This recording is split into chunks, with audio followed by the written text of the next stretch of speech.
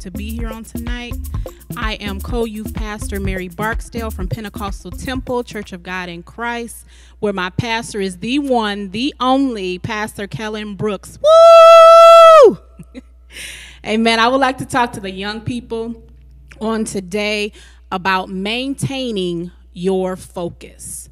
Maintaining your focus. And I'm going to be reading Hebrews, the 12th chapter, 1 through 2.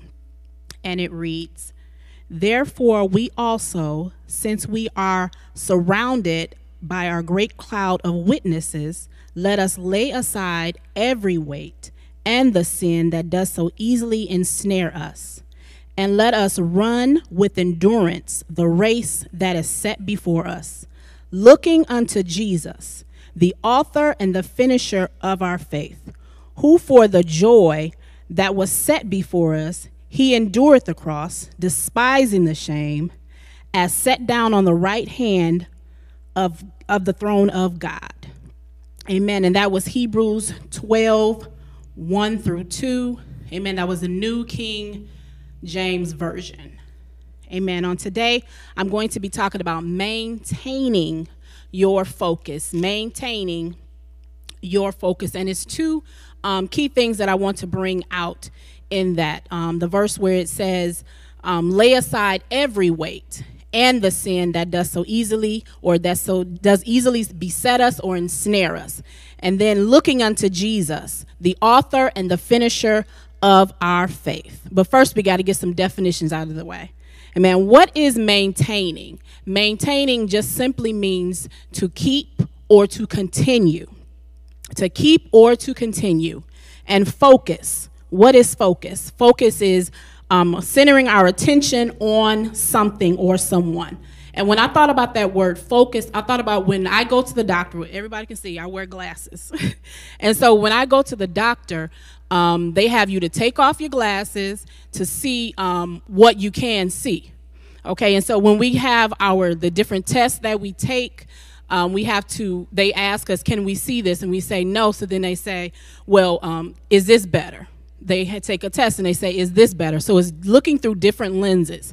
So when it's focused, when we are focused, we are able to see clearly. Yes, we can see with our with my out my glasses. I can see but yet it's not focused. So when I have my glasses on, I'm able to see clearly because of the focus. So that's what we're going to be talking about today the focus. Amen. How can we be focused? How can I be focused? We have to have a disciplined mind. We have to um, stay away from tr- things that are um, going to trouble us. We got to stay away from people and different circumstances that's going to keep us bound, that's going to get our focus off of Jesus. We have to pray we have to ask God to keep our mind stayed on Him because He's the one that's going to keep us in perfect peace when we keep our mind stayed on Him. We have to read our Bible. We have to pray. We have to go to church. Amen. Some people don't want to go to church, but we have to go to church. Amen. And we also have it online where we're able to tune in to the different places online. So we have no excuse to go to church. Amen. And we have to really listen when we go to church. We have to really listen to what the pastor is saying. This is how we can keep our focus. Amen. Another point is we have to purposely fade out distractions. We have to purposely fade out distractions. Amen. We got to be intentional about this thing. We have to be lovers of God. We have to run after the good things and away from the bad. So we have to be intentional. We have to purpose in our mind and say, I'm going to do this. I'm not going to um, turn away from God. I'm going to press forward because God is, um, He's going to see us through. So we have to be intentional about this thing. And then one other thing, yes, is the process going to be easy? The process is easy. Step by step, God tells us what to do step by step. The process is easy, but will it be hard to do sometimes? Yes. It'll be hard to do sometimes. It'll be hard to say no to that friend that we've been hanging out with for so long. It'll be hard sometimes to say, um, no, I'm not going to do this. No, I can't go here. I can't go there because I'm trying to stay focused. Yes, it would be hard, but can you do it? Yes, you can do it. You have to keep your mind on Jesus. You have to say, I'm going to do, I'm going to uh, do what's right and not do what's wrong. Um, if we fall, because we, you know, with all things, God, with things, with all things, with all, with God, all things are possible. With God, all things are possible, but sometimes we do fall. Sometimes um, we let the enemy um, trick us, or sometimes we just, you know, give in to, to that peer pressure, give in to that.